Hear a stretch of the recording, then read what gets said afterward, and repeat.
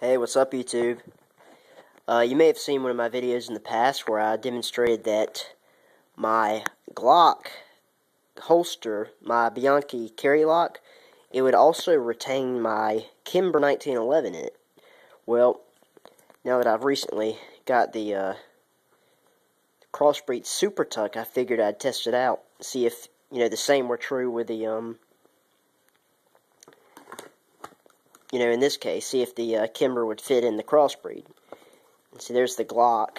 I mean, this is specifically designed for the Glock. You can see every little detail. But I found out that the uh, Kimber fits in there just as good. I mean, it's it's in there kind of loose now, but when you have when this holster is on you, and you have your belt running through it. The retention's tight, and it it works just fine for the Kimber. So, I mean, I love this holster. It was 75 bucks, so I, I really don't want to buy another one specifically for my Kimber, but this way, you know, you don't have to.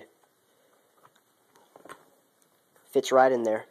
But I figured I'd just let, you know, share that with you. So if, if you're like me and have like a little short frame 1911. It will fit in a holster designed for a Glock 23 or 19.